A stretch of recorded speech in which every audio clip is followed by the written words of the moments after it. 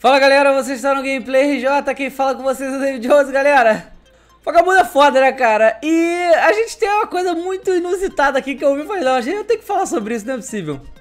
Estou apaixonada por um jogador de Dota. É a mais nova novela de sucessos nas Filipinas. Eu vou ler a notícia pra você, vamos lá, vamos lá. Pode parecer piada, mas não é. Difícil acreditar, mas vamos lá. Uma rede televisiva das Filipinas decidiu começar a transmitir uma nova telenovela chamada Eu Estou Apaixonado por Jogadores Dota, com parte do programa Watchpad Presents, baseado em histórias escritas por fãs. Essa comédia romântica gira em torno do drama que uma garota enfrenta ao namorar um jogador profissional de Dota. Aparentemente, Dota é tão popular nas Filipinas que o Estou Apaixonado por um Jogador de Dota está sendo promovido nos cartazes da cidade. Além disso, na mesma região, universidades já adotaram o curso Ciência do Dota em sua grade curricular. Que loucura, galera! É só isso que eu tenho a dizer pra vocês. I'm love With the Dota Player, isso é real, tem, tem, tem pôster, tem uns cacete, que loucura, cara.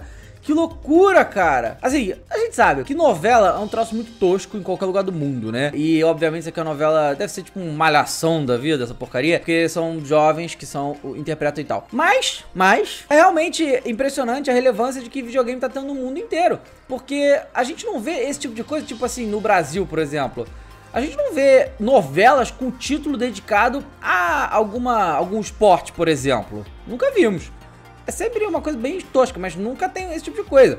Então, será que isso é a primeira vez que acontece uma coisa dessa? Bagulho mainstream das Filipinas, botando na televisão o, o título, a porra no, no título. Estou apaixonado por um jogador de Dota. Por um lado, eu acho muito tosco, porque é, né? Mas por outro lado, eu acho muito interessante ver a força de que os jogos estão ganhando no mundo inteiro e atingindo a todos os lugares. Nas Filipinas, meu irmão, dominou. Né? Deve ser assim, ah não, o cara tem que viajar pra jogar, a garota fica em casa e tal. Nossa, deve ser muito tosco, meu Deus do céu. Mas é, tá aí. O que vocês acham disso? Eu, eu achei, achei engraçado, vai. Eu achei engraçado. Comenta aqui embaixo o que vocês acharam disso. Eu acho que eu, sessão dos comentários aqui vai estar tá a graça hoje.